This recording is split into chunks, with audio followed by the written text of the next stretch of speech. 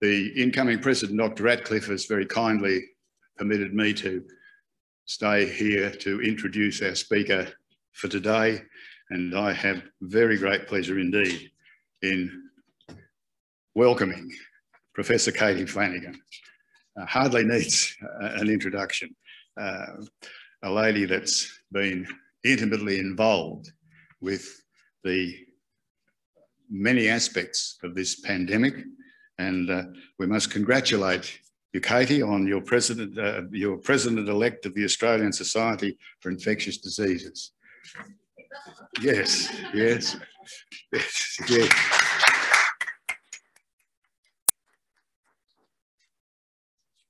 She's a world-renowned clinician scientist, uh, head of the infectious diseases at our Launceston General Hospital and professor at UTAS, Royal Melbourne Institute of Technology and Monash Universities. She's on, she was, and still is at the moment, Honorary Secretary of the Australian Society of Infectious Diseases, but as you can see, she's about to become the President, and she chairs their vaccination special interest group, which I think is a special interest to us all at the moment, isn't it? Um, and is a member uh, of the Australian Technical Advisory Group on uh, Immunisation um, and chairs their COVID-19 vaccine utilisation and prioritisation subgroup.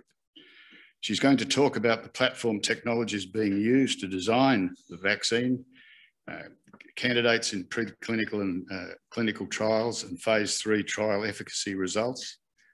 She'll discuss the progress globally with the vaccine rollout and the Australian strategy and program in more detail. And she'll also conclude with discussing next generation vaccines against those emerging SARS-CoV-2 variants. So once again, my very great pleasure to welcome Dr. Katie Flanagan.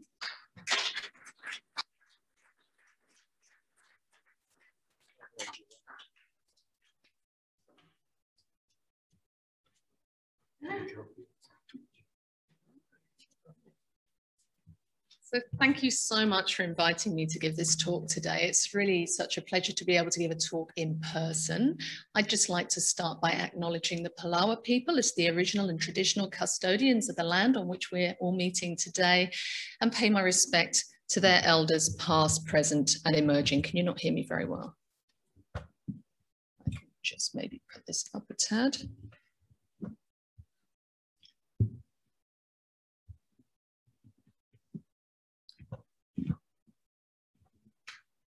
Okay, I hope that's a little better. Um, the title's just slightly different on my talk, which is about to emerge. Um, but essentially, obviously, I'm going to talk about the COVID-19 vaccines and really try and get you to understand what's out there in the pipeline, how these vaccines work, what do you need to know, what do you need to understand, what, how safe are they, these clinical trials have been done very quickly. What does that mean in terms of safety? And just walk you through some of these issues.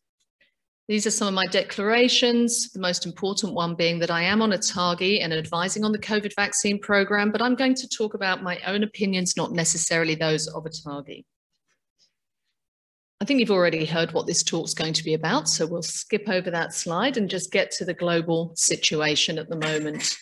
So there's 126 million documented cases so far, but we think that that's probably um, a gross underestimate, many more cases and probably four times that number already in the world and almost 3 million deaths now. Um, and that number, unfortunately, is increasing. There's more than 260 candidate vaccines in the pipeline, which is absolutely extraordinary when you think that 14 months ago we barely knew anything about this virus. And this is just unprecedented for any other disease this number of vaccines coming through the pipeline so quickly. And I think what's even more amazing is that 83 of them are already in clinical trials. So that's human clinical trials. They've gone through their preclinical testing, often in animal models, often with challenges against the virus. And then they get into doing um, the clinical trials. And clinical trials go through a number of phases. They start with phase one, where you just do in a small number of people safety and immunogenicity and check that they are safe and that they're stimulating the kind of immune response you want. Then you go into phase two, where you just ramp up the safety and immunogenicity to hundreds of people, often up to around a thousand. And then you advance to phase three clinical trials. And in phase three, you are going to test efficacy and see if this vaccine protects against the disease you're trying to protect against. Now, phase three normally occurs in thousands of people, but for COVID 19 vaccines, it's being done in tens of thousands of people for each of the different vaccines coming through. And that again is testament to the fact that these vaccines are going through the correct pipeline and really very robust testing before getting licensed for use. So this diagram here is from a paper of mine um, from earlier this year, just summarizing the different approaches that are being taken to develop these vaccines. On the left-hand side, you can see conventional approaches, and all of the old conventional approaches are being tested. And I'm going to walk you through each of those approaches so that you understand how the vaccine's made using those different approaches.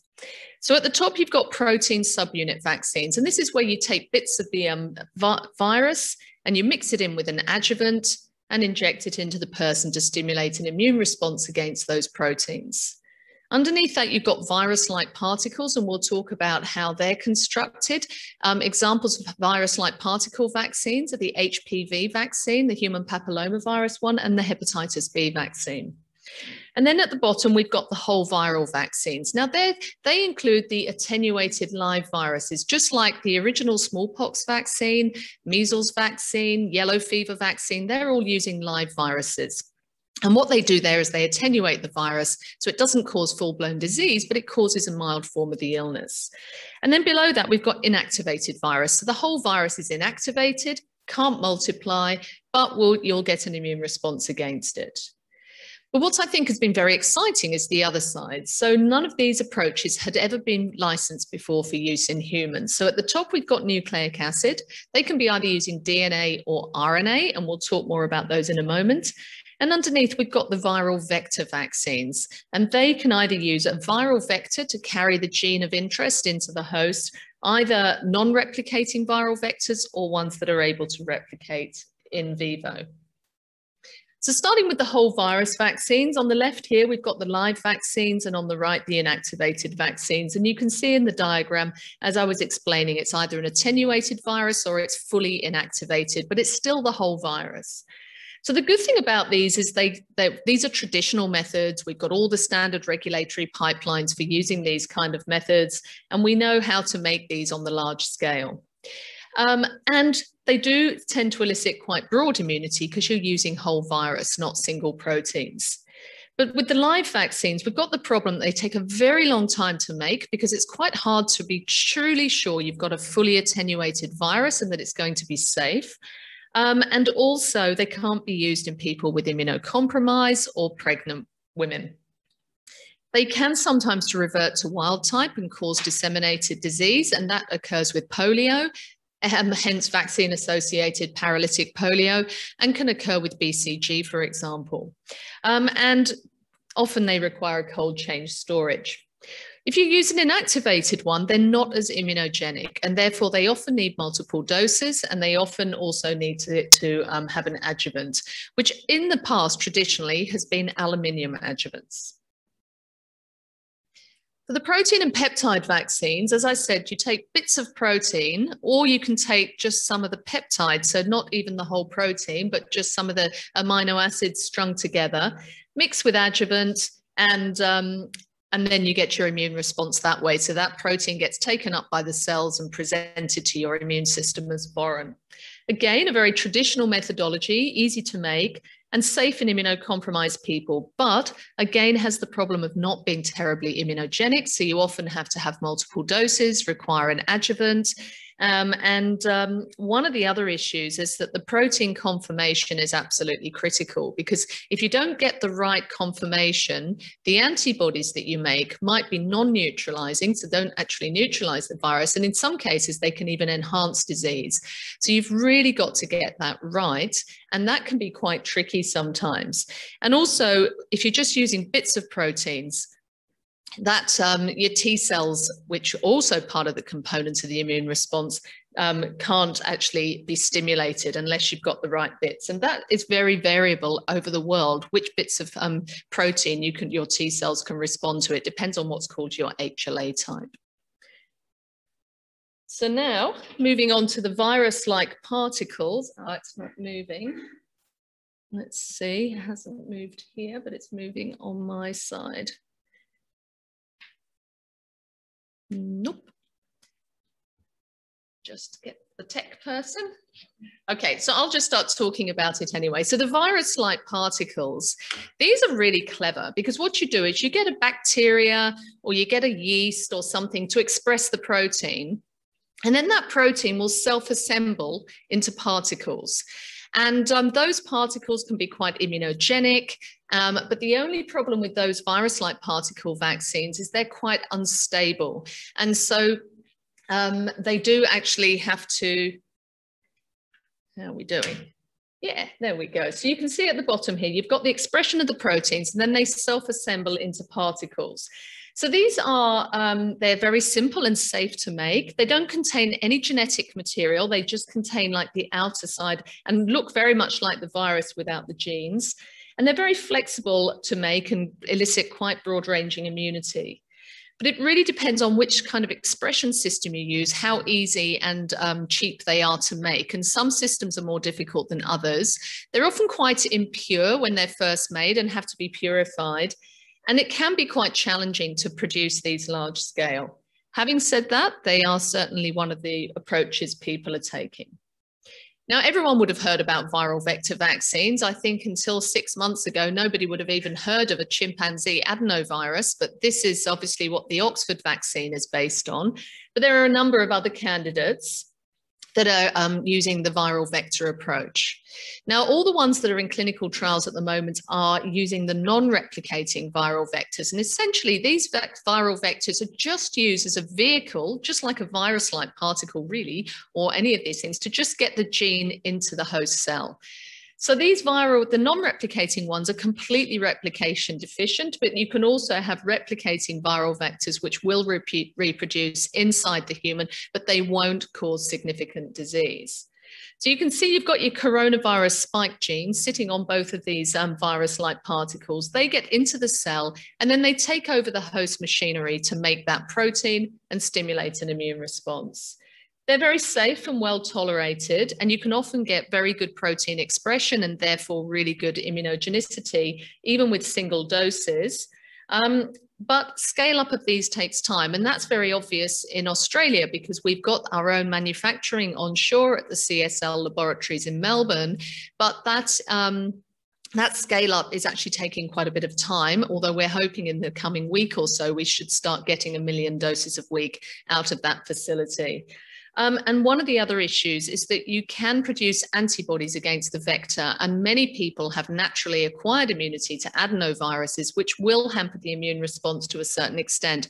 And that's still not really been worked out. How much is that's going to be a problem? But it was one of the rationales for the chimpanzee adenovirus being used by Oxford, because you shouldn't have pre existing immunity to that one. Having said that, once you've had one dose, you should start to get some immunity to it. And I have challenged AstraZeneca on this a number of times, but they haven't actually answered whether they've looked at anti-vector immunity not, or not. And this is the other type of vaccine that people are very interested in because obviously we have the Pfizer vaccine here in Australia, and this is an RNA vaccine, and these are very novel vaccines as well. I think one of the biggest questions people have is whether they can actually integrate into the host genome. Because people hear that they're nucleic acid and they get very nervous about that, particularly young pregnant women or women that are considering childbirth. They think that this might alter their DNA. So the thing to say is the RNA categorically cannot get into the cell. It can't integrate into the host genome. It's actually biologically impossible because it needs, it hasn't got the right um, enzymes to cross into the nucleus. And then it can't turn into DNA because humans don't have a reverse transcriptase. So it's just physically not possible. The other thing is RNA is very, very unstable. If there was RNA in a tube in front of me, I've only got to just touch the side of the tube and all that RNA will be destroyed within a very short time. And once the RNA gets into the cell, it works in the cytoplasm to use the host machinery again to make the proteins and express the proteins and get an immune response. Once it's in the cell, it gets broken down, and there's a very regulated process in the cell for RNA breakdown. So it lasts there for maybe a couple of days. There's two different types. There's either non-replicating RNA vaccines, and that's what the Pfizer one and the Moderna one is.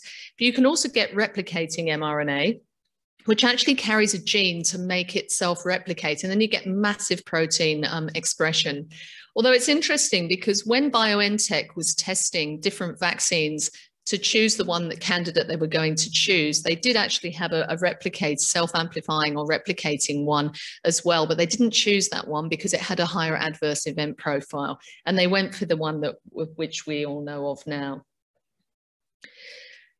So these vaccines are very easy to design and very quick to make. You can get a sequence of a virus and four weeks later have a vaccine made and ready to go. So this is very good news if we're going to have to make new variants to these um, virus, new variant um, vaccines. And the immune response tends to be very robust. But as I said before, it's very, very unstable. And so the RNA has to be packaged somehow. And what you saw in that previous figure is it was covered in something which we call a lipid nanoparticle. It's a bit like a cell membrane, but it's just lipids that have all joined together and protect the RNA inside. And that's the reason that they often need ultra low temperature storage as well. Um, and certainly, as I say, they can be quite unstable. They also stimulate inside the cell and can cause quite um, an immunogenic response, but also quite an, um, a lot of reactogenicity. And we're seeing that with these vaccines, that a lot of people are getting local and systemic reactions such as headache, fever, myalgia, um, and an aching arm. And then finally, the DNA vaccines, very like the RNA vaccines, in that you're carrying the the gene into the cell, but this time it is DNA, not RNA, which is obviously what we all carry in our cells. And um, the gene is carried on what we call a plasmid, or sometimes it's coated onto gold nanoparticles and injected that way. If you inject it deep into the muscle, it will enter the myocytes, but it's not very efficient. And so what they often do is they try and find ways to get it administered intradermally. And what you can see here on the right-hand side are a couple of the kind of devices that are used to do that. The one at the bottom actually breaks down the pores in the cell. It's called an electroporation device, and that allows the DNA to enter. And that's if you're giving an intradermal injection. So that's, I guess, a bit of a complication with those vaccines, just trying to get really good immunogenicity, because on the whole, they're not terribly immunogenic. So that's all the different vaccines that I wanted to tell you about. There are a couple of different bacterial vector vaccines, but they're not really very popular approaches. And what I've summarized here is those number across all those different platforms in preclinical trials and those in clinical trials. And I guess one of the main things to point out is the very popular approach is the protein and peptides. The old traditional methodology is being used for 96 of these vaccines in development, so well over a third. But if you look across all the other approaches, there are all still a lot of candidates coming through using all those technologies we've just discussed, with the exception of live attenuated viruses, just one in clinical trials and two coming through. And I, I think that's because of those complications. And that's very old technology, quite dirty vaccines, but they tend to be very immunogenic with long lasting immunity. Of all of the candidates coming through, the majority are two dose schedules. So you can see here 62%, but different times, so either Norton 14 days or 28 days or 21 days, although the AstraZeneca, as we know, is now recommended at 12 weeks, and I'll explain why later. Few, a few of them are single dose, and obviously single dose would be much better for us. And then maybe though, once we've had our two doses, we may only need boosters in the future. We just don't know yet. The majority are given intramuscularly, but there are um, some intradermal and subcutaneous ones. And there are a couple of oral candidates already in clinical trials, which I think is very exciting if you could take a pill to get your coronavirus immunity. And this is what's truly remarkable is that 24 candidates are already in phase three or phase four trials. Now, phase four is when they've already been licensed and you carry on doing the safety monitoring, which is now what's happening with all of those that have been given licensure. And I've just listed all of those that have gone through to those efficacy trials just to demonstrate that, um, again, it's across all of those platforms that we've got them already moving into um, efficacy trials. And I've also highlighted in bold the four vaccines that are going through consideration by the TGA. Three of those were pre-purchased already by the TGA prior to getting any efficacy data. And one of them is going through a provisional determination with the TGA, but that's the Janssen one. But they haven't made any purchase agreement on that one. But I think what it does demonstrate is that the Australian program was definitely ahead of the game because they chose and pre purchased these vaccines before we had any efficacy data. Now, they had all those 260 odd candidates to choose from, and they managed to pick three that are front runners, all with really good efficacy, all um, all across three different platforms. And that's really helpful because some people just may not be able to have a certain vaccine using a certain platform. So having the three tools, all of these ones in the future in the toolbox, I think is going to be really helpful for us. And this is a very busy slide, but the bits I want to point to, point to you really are the bits in red.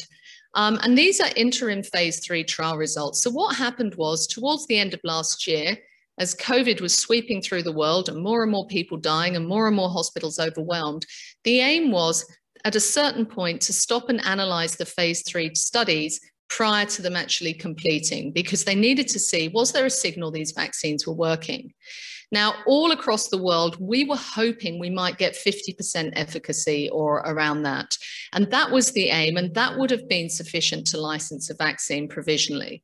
But we have been absolutely amazed at the level of efficacy that we're looking at for these vaccines. When you bear in mind that flu vaccine is usually 50 to 60% efficacious at best. So at the top two, we've got the RNA vaccines, both sitting at around 95% efficacy against symptomatic disease from seven days after dose two. Importantly for Pfizer, they showed the same efficacy in those over 65. Often, when you're older, you don't respond as well to vaccines, but these seem to be fine. They are also consistent across gender, race, ethnicity, and people with a whole host of stable comorbidities, such as chronic obstructive pulmonary disease, diabetes, cardiovascular disease. Um, then if you go down to the chimp adenovirus and the Johnson & Johnson vaccine, they are more like 70% efficacy.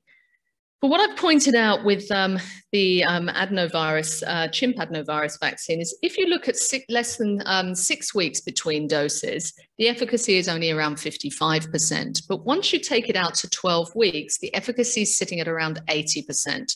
And that is why ATAGI made the recommendation, and it was my group that grew, drew up those clinical guidelines, that we want the dose given 12 weeks apart. You can have it closer, but you won't get as good efficacy. So you're better off waiting and just getting it at the more uh, around the 12 week mark and you should be getting around 80% efficacy against clinical disease what's really important though is efficacy against hospitalization and severe disease is 100% with that vaccine actually it wasn't with pfizer because pfizer had one severe case in their vaccine recipients so it's you've got to remember these efficacy data are preliminary and they're not really comparable. They're different populations and they are different situations. And we'll talk about that a little more in a moment. The Russian vaccine, which is also an adenovirus one, a human one, they used two different adenoviruses. They reckon they had 92% efficacy even after one dose, which is quite surprising when you compare to the other adenoviruses. But anyway, that's what the data show. And then at the bottom, the um, Novavax vaccine. So that's the protein one. It's the spike protein with a special adjuvant called Matrix M. Another one that we um, are going to have in Australia in the coming months, around 90% efficacy. Originally, with the AstraZeneca, we were very worried that we didn't have good data for those over 65 years of age. And we felt that, um, you know, it was quite a difficult call whether we could recommend it in older people. But we decided to, in the end, after some conversations with our Canadian and British colleagues. And luckily, the USA trial um, did a preliminary analysis of their data last week and have released an 80% efficacy in those over 65. So similarly, it seems to be performing just as well in the older people. So we're very relieved about that. And I should just warn you, these are preliminary data. Everybody's got hung up on is AstraZeneca a rubbish vaccine? Is Pfizer the one you want? No, they are both fantastic vaccines, both of them. So try not to get caught up in that argument. I think if you're going to get either offered to you, then you're very fortunate. But we don't know how long protection is going to last. And we do know that a lot of priority populations were not included in the trials, such as pregnant women and severely immunocompromised people. Um, and we don't know that much about disease transmission, but we're starting to see that they do decrease the amount of virus you have, the amount of time you're ill with virus, and that there will be a decrease in transmission, which we assumed would be the case, but we just didn't have the data. And real world efficacy isn't always the same as what you see in clinical trials. And I'm going to show you that because that is bearing out at the moment. I also mentioned their rare side effects may be missed, and I think that's also playing out in, in the media as well. It's quite clear that in very, very rare occasions, AstraZeneca seems to be associated with this weird central um, venous sinus thrombosis in with low platelet count.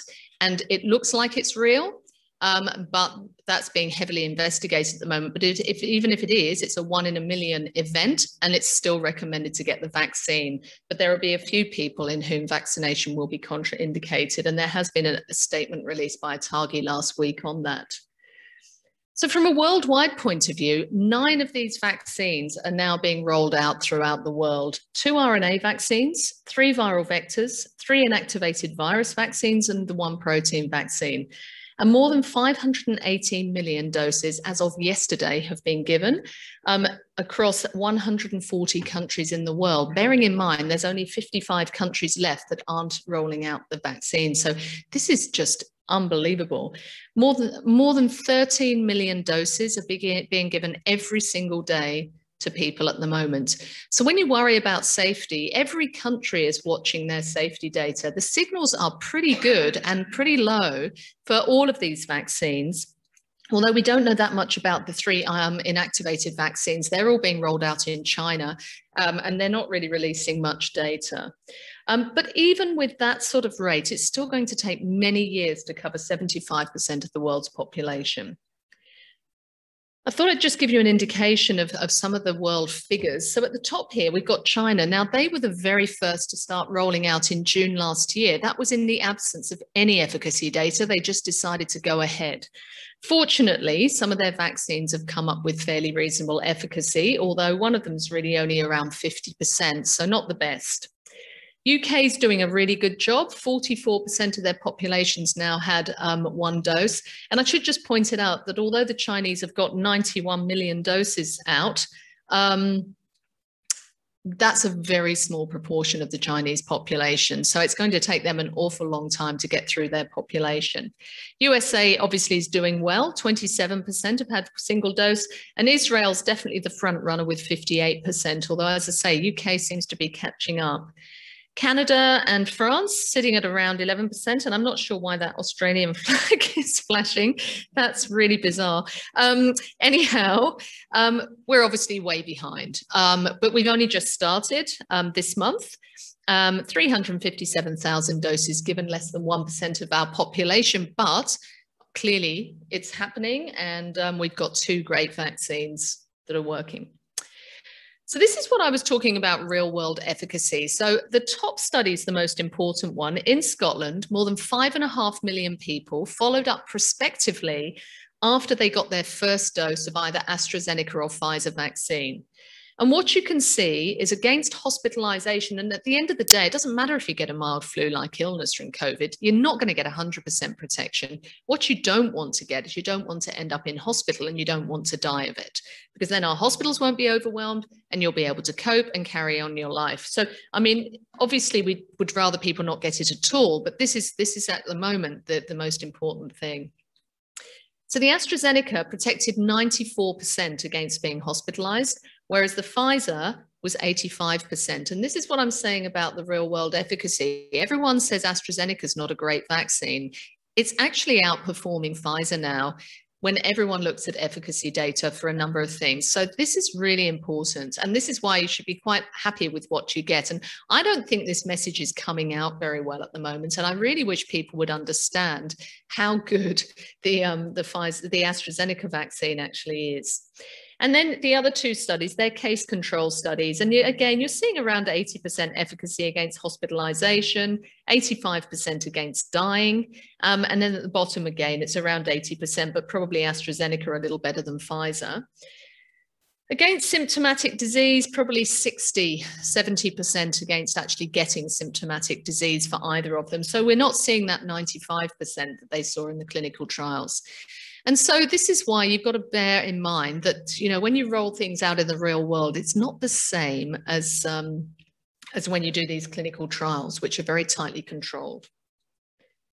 So when it comes to the Australian program, this has been a very, very complex space. It has kept me um, very busy for the last six months um, a whole series of different people involved in it but obviously it's a federally run program which is unusual. It's normally it's all the jurisdictional immunization committees would just run with the vaccines but the federal government actually set up a task force and they're the ones that are running the um, whole program. And obviously they're also calling the shots in terms of certain aspects of this program um, but there's many um, departments involved. So we've got uh, the, the National Cabinet, obviously, the task force. We've got the Advisory Committee on Vaccines, ATAGI, um, Therapeutics Goods Administration, and then a SITAG, which is a special group that was stood up to actually pick the vaccines um, and to initiate the process, which is unusual because that's normally done by the PBAC. And at the bottom here, there's the three um, ATAGI advisory groups. So ATAGI advises the government on its program. There's the group that I lead, which is the vaccine utilization and prioritization. There was another one on the implementation um, and distribution of the vaccines and another one on safety and evaluation. So you can imagine that one is coming into its own at the moment. Um, and our, all three groups meet with the um, with the government every week um, and with the COVID-19 task force just to coordinate where the program's going. And I can tell you, you know, to do this for the whole country and plan it for the whole country is has been a phenomenal task, but a very exciting one nevertheless. Right, it stopped moving again, I'm afraid. Oh, hold on, actually. There we go. Nope. Sorry about this, it's not moving again. But I will just talk. So I've already mentioned this anyway. The next slide is just talking about the Australian government commitment to COVID-19 vaccines. And as I said, they had already pre-purchased three of those front runner vaccines, all with absolutely fantastic efficacy. So the chimp adenovirus AstraZeneca, the Pfizer vaccine, but also Novavax's vaccine as well has been rolled out. The, um, the sad story was the University of Queensland um, vaccine, where they had got a spike protein and they had clamped it with what's called a molecular clamp. That was it, actually. Yeah, that's great. Go back. Um, they clamped it with a molecular clamp to hold that spike protein in its normal native form. But they'd used a bit of HIV antigen to do that. And unfortunately, that caused false positive HIV results in a very high proportion of people who got tested across all the different platforms. So it didn't cause HIV, obviously, it just caused an antibody response that could be misconstrued that somebody had HIV. And there was a lot of debate about this as to whether this was acceptable. I have to say, my view right away was this is a no go because you know, imagine if you travel and somebody does an HIV test and tells you you've got HIV and doesn't understand the vaccine did this. You couldn't roll this out in Africa where they don't have good um, HIV diagnostics. So in the end, unfortunately, that vaccine had to had to be abandoned. The only other one I haven't mentioned is the um, Johnson & Johnson vaccine. That's an adenovirus 26. They've got a preliminary determination with the TGA, um, but there's been no um, pre-purchase uh, agreement. And actually, I can't see the government buying it, although they ha I have no idea and no insight into that because we've already purchased enough of two vaccines for our entire population. So unless they want to use it in the region, I'm not sure that we will actually buy it, although who knows. At the bottom here, I mentioned the COVAX facility. And for those of you that don't know what that is, that is a global facility that has been set up by um, Gavi, which is the Global Alliance on Vaccines, and by CEPI, which is the Coalition for Epidemic Preparedness Innovations, which are these two extraordinary organizations who had the foresight to see that really we've got to make sure that everyone in the world gets equitable access. And the idea was to get the richer nations to invest and then they would guarantee a certain amount of vaccine for their population. If all of their pre purchase agreements failed, and if there was a vaccine in the facility that they could have, they would get it. But that would they would also have to contribute to the poorer nations of the world getting vaccine. So Australia made a significant contribution to guarantee 50% for our population. They're not going to need to use that allocation.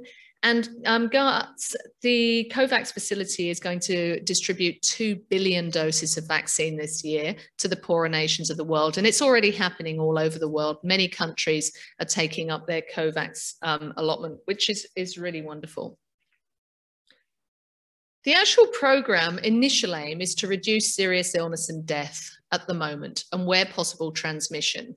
We have to do that in the initial phase because you're not going to be able to uh, aim for herd immunity right now, particularly since we don't even have vaccines licensed for children at the moment. If you want herd immunity, the kids are going to have to get vaccinated as well.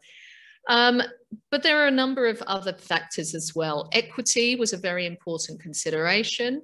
Promoting public trust, um, establishing a national immunisation programme is going to be one of our aims, and we will do that at ATAGI in due course. Um, and maintaining the society functioning essential services was also key. Obviously dependent on vaccine supply, the characteristics and the local epidemiology will also determine what we do, because I think if there was a sudden outbreak somewhere, like a really bad one or another wave in a major city or in a state, we may actually change the program and divert vaccines there. But um, we're looking at modeling that at the moment and, and in terms of what impact that might have. And obviously, we strongly encourage anyone to take the vaccine, but it's not compulsory. There are a number of priority populations, and they're all listed here. But obviously, we were very, very keen that those at increased risk of developing severe disease or dying get the vaccine. And the single biggest risk factor is age. Above absolutely anything else, any type of immunocompromise, any type of comorbidity, being older is the biggest single risk factor, particularly if you're over 80. It's really quite significant. Um, those at increased risk of exposure and onward transmission. So by way of reciprocity, which we think is really important, we really wanted our high frontline healthcare workers and our border, border staff and quarantine staff to get vaccine. And then obviously we've got to think about keeping society functioning. So we've got to make sure all of those services are maintained should we have a wave of COVID come through um, the community. You would have all seen this because I think it's been everywhere and, and anywhere that the government can get attention. So this is um, how they strategized rolling out the vaccine, starting with phase 1A into 1B, 2A, 2B, and basically working through the entire population of Australia. And by the time we get to the phase three, hoping that the vaccines are licensed for children so that we can start rolling out in kids as well. And we're already rolling nicely into 1B at the moment. Um, a lot of the quarantine border staff, frontline healthcare workers, and aged care facilities staff and residents have been vaccinated. Um, but that's still ongoing while the phase 1B are being um, worked up. In terms of the two vaccines we have, they've got slightly different age indications. So the Comirnaty is the RNA vaccine, the Pfizer one, that can be given over the age of 16, but the AstraZeneca at the moment only over the age of 18. The dosing is different, Comirnaty being 21 days apart, but AstraZeneca 12 weeks, as I explained to you why that is. Um, but if you give it earlier, it's not a problem. You don't need extra doses. If you give it a bit late, it's also not a problem at the moment. But we are recommending that you complete the course with the same vaccine, although this may not always be possible. So if you have a severe allergic reaction to the Pfizer vaccine, you may not want another dose.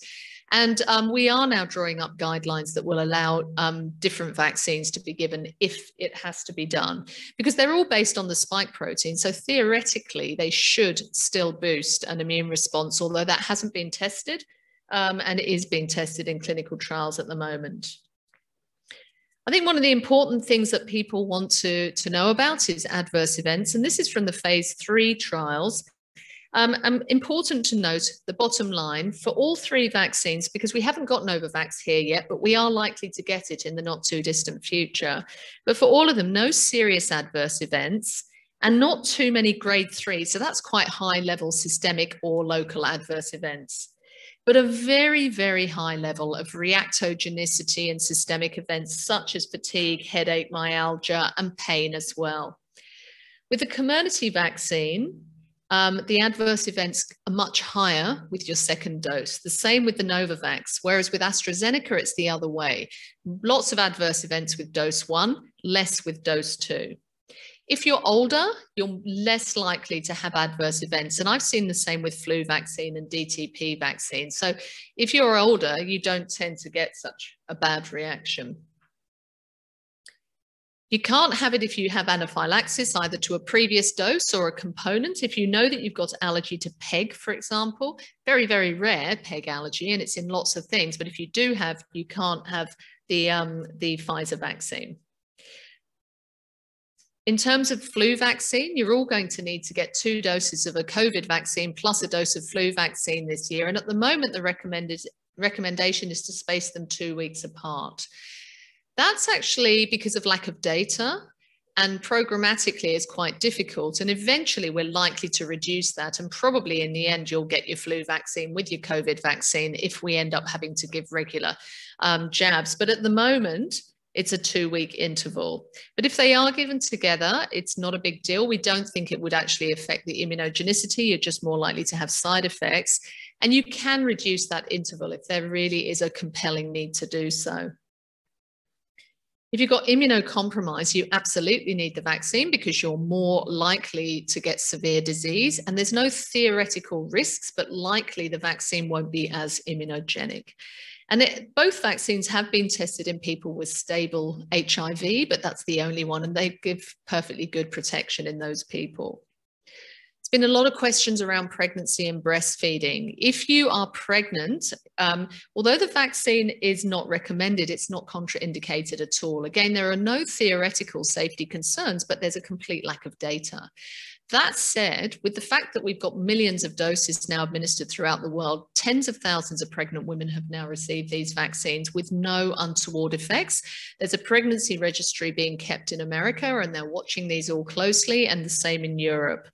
Um, and so, what we would recommend is deciding look, if you're high risk for exposure, let's say you're a frontline healthcare worker or your partner or you work as a border personnel, then it would be quite reasonable to consider having the vaccine. So it's one of those sort of risk benefit things. Breastfeeding women, there's no contraindication. If you're planning a pregnancy, also no reason not to have the vaccine. And like I said, being very old is the highest risk factor there is. And so, again, we highly, highly recommend that if you are in this group, that you get the vaccine, even though it may be slightly less immunogenic, but we don't know for sure. Kids can't get the vaccine at all at the moment, but the trials are ongoing and they're they're really sort of ramping down now to sort of like younger age groups. So in time, we will be offering offering these vaccines to children. Having said that, there's an ethical issue here because they don't really suffer severe COVID. And then, do you want to be giving them? But you know, I think this is going to be a debate that will happen as and when we get data for children. But some of those young teens, still some of them are dying and getting sick. And also, I mean, we have in America, they've lost a lot of children from COVID, just not as many as older people. And so I think, you know, there's something to think about here. And there are some severe reactions some of these children get sometimes to COVID, the whole issue of long COVID, where you have ongoing symptoms. So I think, I think ethically we'll probably will be giving as long as we've got a vaccine that we feel is really very safe. If you do get the vaccine and you get fatigue and headache and a bit of fever after the vaccine, then you may not need to do what you would normally have to do and go and get your COVID tests and isolate at home. But you do have to follow whatever the public health guidance is at the time. But if you get respiratory symptoms of any type or loss of taste or loss of smell, they have nothing to do with the vaccine. And you absolutely do need to do the normal isolation and COVID testing for yourselves. And just coming to the end of my talk now, the new variants. Now, obviously, this virus is mutating all over the world and new variants are popping through all over the place. Um, but the three main ones of interest are the British one, the South African, and the Brazilian ones at the moment, um, because they are definitely causing, um, they're much more transmissible and therefore spreading throughout, and they're taking over really in the areas where they've set in. But there's a there's hundreds of new variants arriving in India as well, and they're all being watched as variants of concern. But with that in mind, we need to see whether these vaccines work against these variants because they're all mutating their spike protein. And of course, all the vaccines are based on the spike protein. Um, with the Pfizer vaccine, they haven't actually got any data from humans, I think because they did their trials so quickly and efficiently. But they've tested it in vitro, like in the test tube, and they see that um, it doesn't neutralize the South African and Brazilian variants as well. For the Oxford vaccine, fine against the UK variant, but very, very poor performance against the South African variant, around 10% efficacy against getting disease, but still much, much higher efficacy against being hospitalized and dying. So it is still thought worth to keep going with that one. The Novavax vaccine, um, very good efficacy against the UK variant, um, 86%. Um, not quite as good against um, as the against the wild type. But when you get to South Africa, it's sitting more around 60%, but drops to around 50% once you take HIV infected people into account. And there's many people there with poorly controlled HIV. But again, 100% protection against getting severe disease. So we still think these vaccines work against these variants, but of course we're quite concerned about what might be coming through.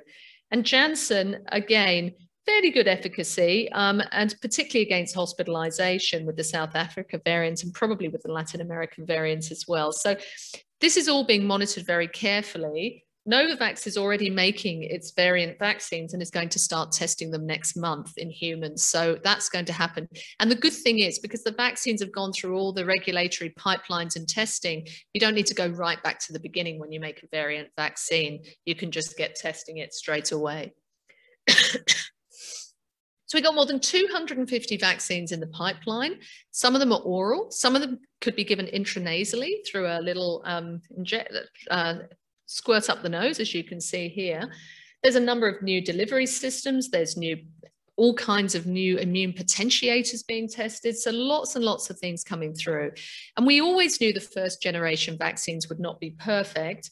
Um, and many companies, as I said, are already looking at their next generation. I know Oxford is already developing theirs.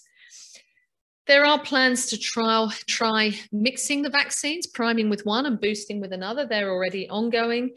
And many companies, or Moderna certainly, are looking at combining their vaccine with flu vaccine.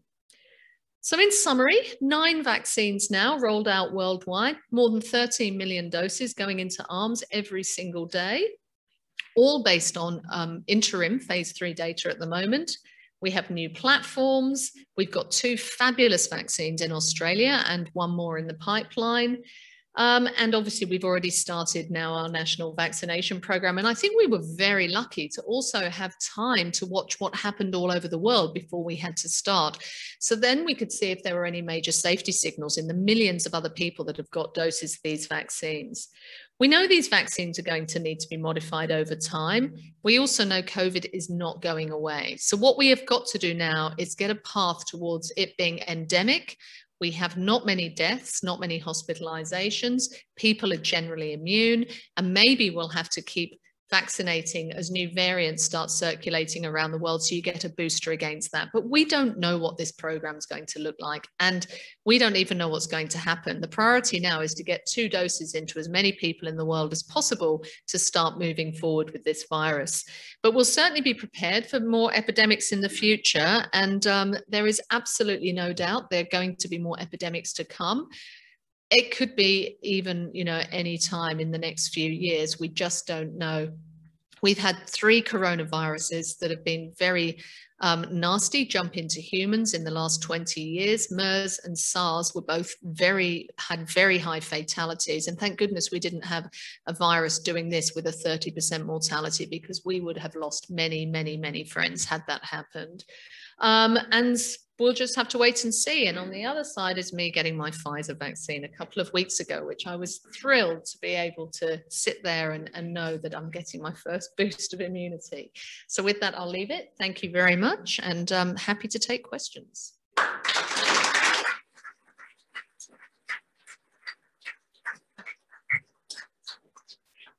Thank you very much. Uh, if anyone would like to ask questions, if you just put your hand up, David will bring you the portable mic and uh, keep it brief. Thank you, because there's going to be a lot of questions. The two, the two um, mRNA vaccines have different cold temperature requirements. So obviously the Moderna one is less sensitive than the Pfizer one. Um, are you able to just quickly sketch, sketch why that's the case? Well, quite interestingly, Pfizer's now done a lot more thermostability assessment because obviously they were developing them separately. And I guess they never shared what they were doing. And Moderna, I think, had the foresight to do all their stability testing up front and to come with a vaccine that could be kept at minus 20. Turns out that the Pfizer vaccine can also be stored at minus 20 for quite a few weeks. The government now know this, and the TGA have released that. Um, but the program's now been all worked around minus 70 freezers. So nothing has been done to change the way the program's rolling out because everything's kind of set up quite nicely with Pfizer hubs. But that's very encouraging and does mean that we can be looking at, um, at uh, perhaps getting the vaccine to other places more easily um, with that with that requirement. And the other thing to say is it comes in at minus 70, but the vials are coming up to here in a fridge at sort of fridge temperature anyway, because it is stable for a week or so. I think it's five five days in the fridge, um, even after it's been defrosted. So it, it, it is, um, so I think they're probably fairly comparable, but I do suspect that in time they'll try and find ways to make them even more stable so that they can just be refrigerated. That will be a plan.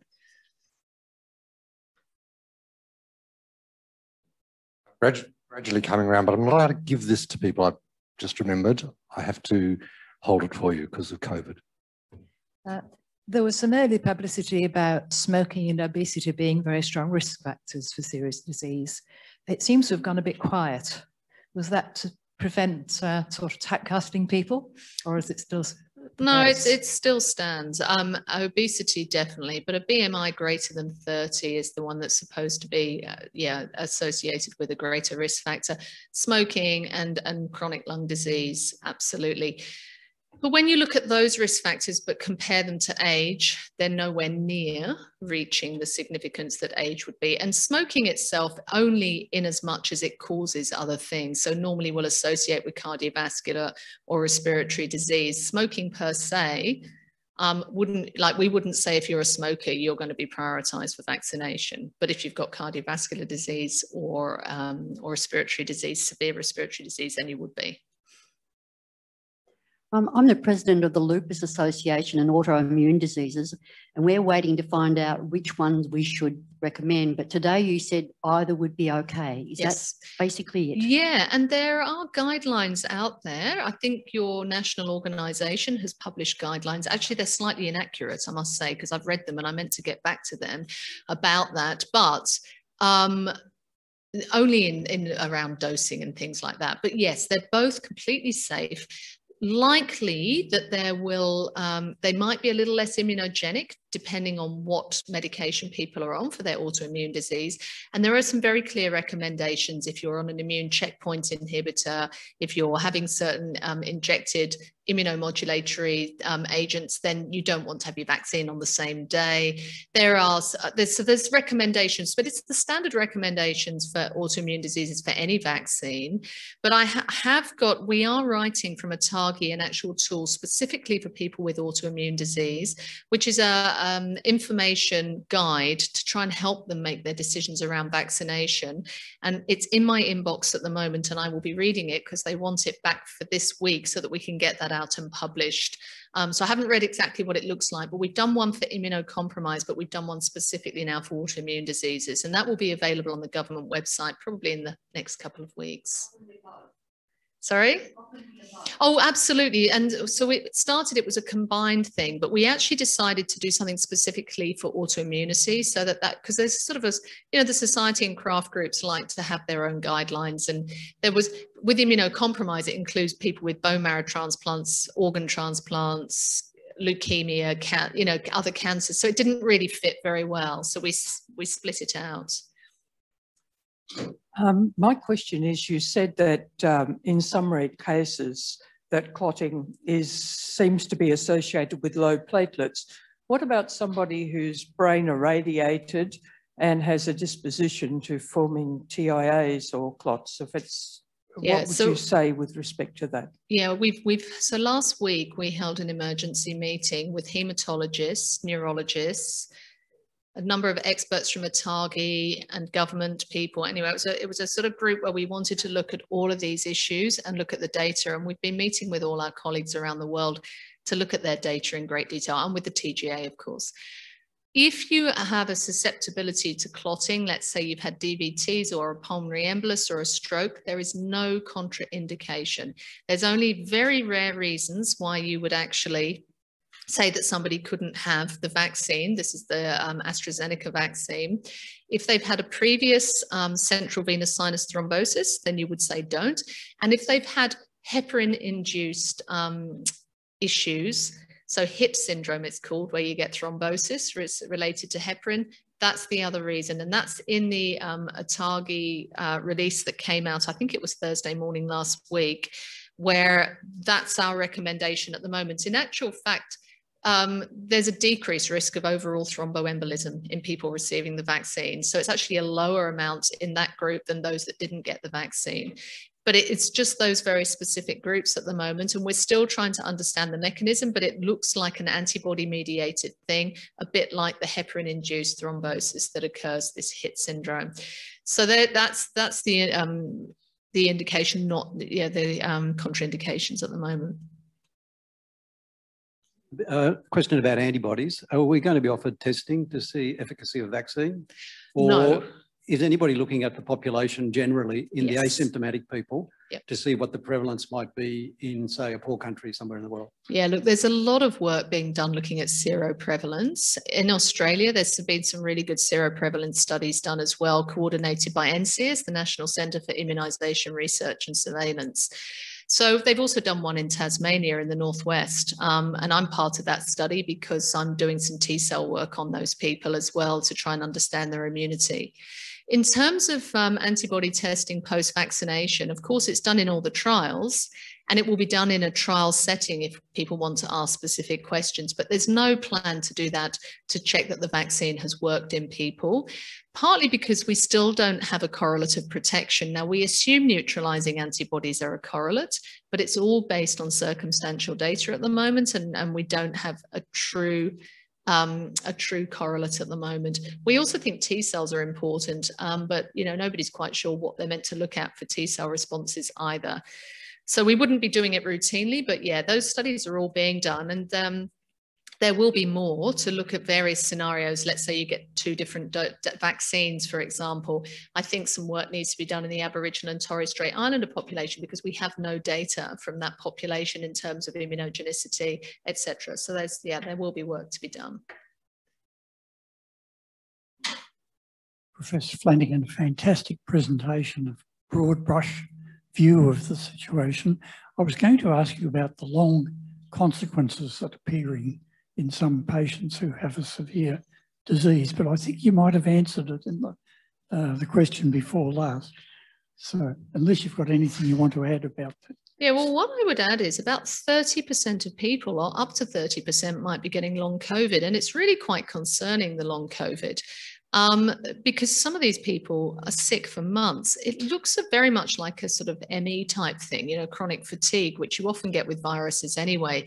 And we don't understand the mechanism of this yet because it's a new virus, but some of it's probably central, but I think there's also heart involvement, lung involvement, skin involvement. So uh, there's a lot of work to be done there to understand the immunity of that. Interestingly, people worried that if you had long COVID, you might exacerbate it by vaccination, but it seems the opposite is happening. If you give a vaccine, it seems to be attenuating long COVID symptoms. So that's really good news. And I don't know why. Um, having said that, I am working with a group at RMIT and we've designed some studies where we're trying to find out why that might happen immunologically. So we may have some data later in the year.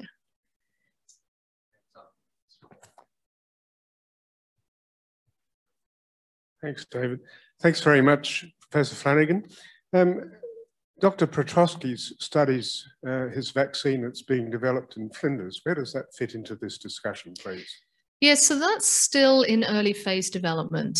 And um, I think we'll just have to wait and see when they get through to efficacy. Now, they'll obviously have to find somewhere that they can do efficacy trials. We're running into some major issues with this now, though, because vaccines are being rolled out in all these countries. So you're to give a vaccine that you don't know whether it works to see if it protects against getting clinical disease when you've already got vaccines that you know give 95 80 90% protection is very tricky um, and if somebody gets it in the trial and then dies of the disease because they got that vaccine I, it's so they're running into problems now in terms of you know those front runner people that got their vaccines out there into the big trials, tens of thousands of people are all able to start um, licensing them, but these other people are, are going to run into issues. And for that reason, human challenge models are now being developed where you actually challenge people with the virus, healthy people, and see if the vaccine protects. And that's being done in London at the moment or being developed. And WHO was setting up a framework for doing this. Now, this was always on the table anyway as something that might be done. I still have deep concerns about that because even if you give a young fit person who's unlikely to get severe disease, one, they can get long COVID. And two, some of them do die or get severe disease. And you don't can't always predict that but I guess they'll just give a very low viral dosage and um, they'll they'll really control how they do it. And I'm sure it'll be very carefully thought through. Um, so yeah, I mean, it's still early phase development and way behind any of these. Um, no indication that the government have done any pre-purchase, nothing, nowhere near getting to apply to the TGA. So I think that that'll be a long way coming. Um, there's a number of other vaccines being tested in Australia. There's about five others. There's an oral one, oral DNA vaccine being tested actually, which is quite interesting. Um, and that's based on the spike protein. So they'll test them for safety and immunogenicity I guess if we get a correlative protection, let's say we find that neutralizing antibodies absolutely definitely protect, then you might be able to use that correlate to justify using your vaccine as opposed to another one. So we'll see. Um, and there's all there's these other, you know, 200 odd in the pipeline. They're going to have to go somewhere, but I can guarantee numerous of those will drop out because that's the normal situation with vaccine development. Only a very small number actually make it through to full licensure. And even of all of these, they're only provisionally licensed all over the world. And we don't know if all of them will end up fully licensed. Something may happen which actually stops one of them and it gets withdrawn from the market completely. It could have been the AstraZeneca one based on this clotting um, issue, but that doesn't seem to be a strong enough concern or signal at the moment. But we're just watching and waiting and monitoring everywhere. Um, if you have a number of allergies, like I'm not saying one or two, I'm saying maybe a dozen um, or more, um, which vaccine would you say would be safer? Would the AstraZeneca be safer as far as any uh, side effects and other things might be concerning? Yes, so initially when we started seeing that high anaphylaxis signal with the Pfizer vaccine in the world, the recommendation was that they, anyone with a whole string of allergies be very carefully watched. And we still um, hold with that. So if you've had multiple anaphylaxis episodes to other drugs, but particularly other vaccines, or you're a highly highly allergic person. So not if, if you've got anaphylaxis to wasp stings or if you've got anaphylaxis to peanuts, that is not a reason for any special recommendation. But if you are one of these people, then yes, we, we're a little bit more concerned about the Pfizer because it's about one in 200,000 with anaphylaxis. Um, AstraZeneca's normal at one in a million with anaphylaxis. But I guess out of the two, the one that is less likely to cause very severe allergy is probably the AstraZeneca, but a lot of reactogenicity, just not severe allergies at the moment. But um, we're, you know, I think if you have the vaccine in a controlled setting with under proper observation with people aware that you have severe allergies and you've got the adrenaline on on site and that should be the case anywhere that you get the vaccine anyway then i think it's it's reasonable to go ahead with either. We've had quite a few severe allergic reactions to the pfizer vaccine here in tasmania but we've reviewed all of them and only one true anaphylaxis so far. But some of the other allergies have been a bit concerning i have to say and so um, we're just watching this very closely and there's a really fabulous um, program of monitoring going on in Australia through what's called AusVaxSafety, which is run by NCIRS. And um, they have, it's not started in Tasmania yet, but they um, are following up lots and lots of people by, um, by sending them text messages and they send back. And if they've got symptoms, they then fill in a little form. It's all very well um, coordinated and they are reporting their data on the, I think it's on the TGA website every week at the moment. You can go and have a look at that. And again, it's reporting all this reactogenicity, um, which is what we kind of expected. If you particularly have a reaction to um, oh, antibiotics, um, there's only one antibiotic that I can actually have that's safe for me. So would that come under, it would be safer if I had AstraZeneca?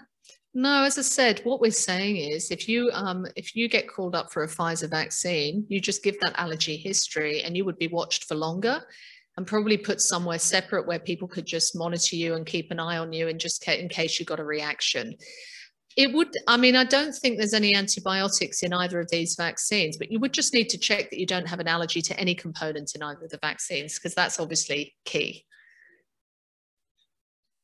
Uh, firstly, thank you for your talk. A very complicated uh, situation. One of the one of hasn't been spoken about. How much does anti-vaccination uh, cause a problem to uh, controlling the disease? So, look, I think our biggest single risk of not controlling COVID is the anti vaccination sentiment or just vaccine hesitancy. So, you get a cohort of people that are bona fide anti vaccination, and you're unlikely to change their minds. But you have an awful lot of people who are vaccine hesitant. And the reason for that is misinformation, confusion, lack of trust all of those things. And this is why things like this are really important. Just hearing somebody and being able to ask questions and getting straight answers really helps people to understand what, what the whole picture really is. So our biggest risk actually is that group of people if they then go on to refuse vaccine. And we're getting at least a 10% refusal rate in Australia at the moment, even among all our healthcare staff at our hospitals, our major hospitals, 10%, mainly young female nurses actually, are refusing to come in and have a vaccine, which is a real shame because this is a vaccine that will protect them from dying, also protect them from taking it home to their loved ones. It, it's not very logical, but it's what people do when there's not enough good solid information out there and of course the internet is causing a huge amount of damage because all this misinformation just circulates and um, and people get very afraid. And I understand the fear, but it's really important that we get the vaccines out to as many people as possible. Last week, my sister in Melbourne, I got a phone call at three o'clock in the afternoon. She had the AstraZeneca vaccine. Mm. And now they, they were sat there for half an hour Mm. No one asked her whether she had this day or whatever. And they just about saved her life because she was, they found out that she's anaphylactic. Her throat closed up completely and they absolutely panicked. They had three ambulances there with her. And I nearly lost her. And I'll tell you what, I'm certainly not going to take that chance. Yeah, well, I think if you listen to my talk, I've made it very clear that every vaccine in the world causes anaphylaxis. So there's a one in a million chance of any anaphylaxis from any vaccine.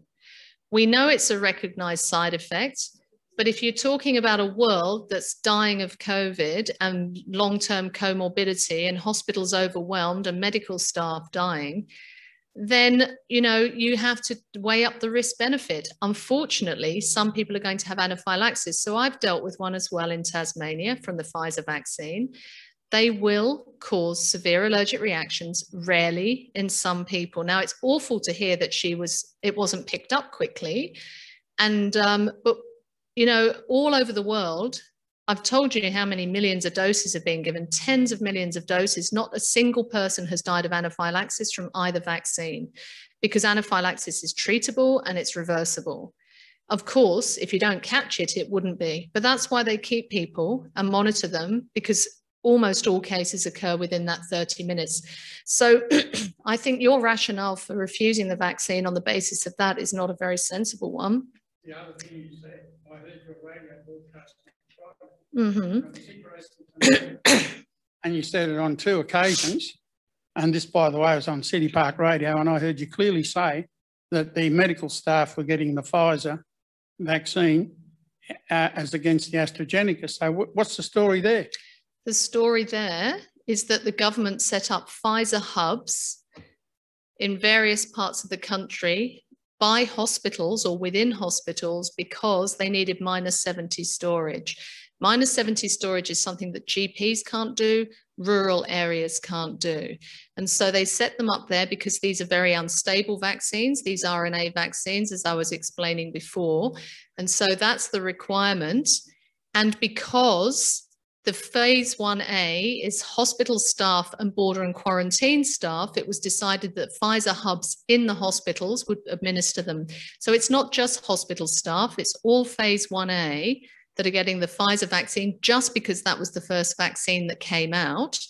And in fact, at LGH and um, at the Northwest Regional and at Royal Hobart, the top of the list was actually the um, all the border and quarantine staff, some of the police, etc., that would transport people who would come into the country because we felt that was the highest risk of all, getting people into the country and then bringing COVID in. Once they were all done and working through, they then started working through the frontline hospital staff only. So, not all staff, only those that work on COVID wards, work in the ED, and work on the ICU. And this is when we only had Pfizer. So, AstraZeneca obviously came a little later and was only rolled out and started last week. That's a vaccine that the GPs can manage in their vaccine fridges. And so, GPs are now getting quantities of that vaccine to start working through the phase 1B populations. And so with the Pfizer, there's only 20 million doses coming into the country over the whole year, but that's not guaranteed and never was. And in fact, what we were promised has not been coming. So the supplies have been highly limited. And I can say that at LGH, in the first two weeks, well, the first five weeks of the program, we got about 500 doses over five weeks. So um, the border and quarantine staff was was nearly all of those. So very few LGH staff got it up front. But it, I absolutely following what we the government strategy is. One A and who those people are. They're all the ones who are getting the vaccine.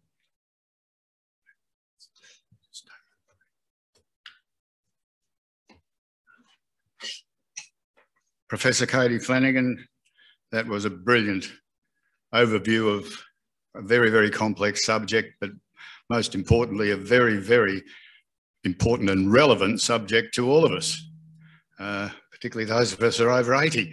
Uh, so uh, uh, we're very grateful for you to give up your time to come and talk to us and explain in detail the uh, development and the progression and the rolling out and the future plans for this vaccine. And uh, we would like to give you a memento of your stay here. It's a little table mat, little certificate with the history of the oh, society on behind. And look, I, I, hesitate to give you a book prize because I can't imagine a book a gift because I can't imagine how you're ever going to have time to read it oh with the amount of reading and research and organisations that you're involved in. But perhaps you might uh, get it. But uh, thank you very, very much. And uh, it's been a great, great pleasure to have you here today. Thank you.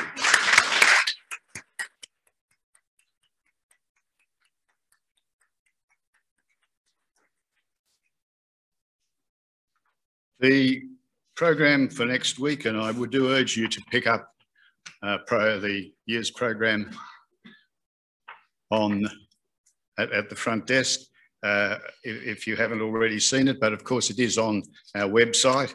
Uh, it's a complete program and as I said before, stimulating and interesting, I'm sure you'll find.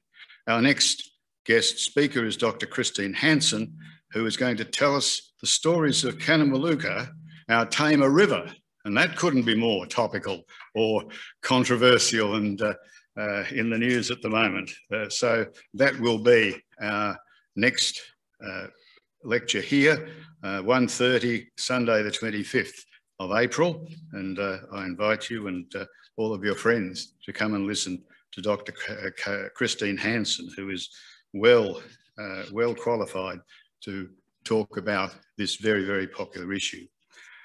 Uh, for any of our visitors or anyone else that doesn't know, there's a pamphlet on the history of our uh, society that you can have a quick look at, uh, collect on your way out if you would like. Uh, I would like to say that uh, I'm uh, stepping down, of course. I've finished up my two-year term as president. It's been a great honour and a great pleasure. I'm sorry that I couldn't do as much as I should have because of illness. And again, I thank David Morris and all of the committee. Uh, it's great to see that they are all put their hands up again, with the exception of Jonathan Morris, who's got a very heavy study load. Uh, and uh, it's great to welcome a new committee member, Dr. Lois Beckwith, uh, to, uh, to the committee. I trust you all have a very safe trip home.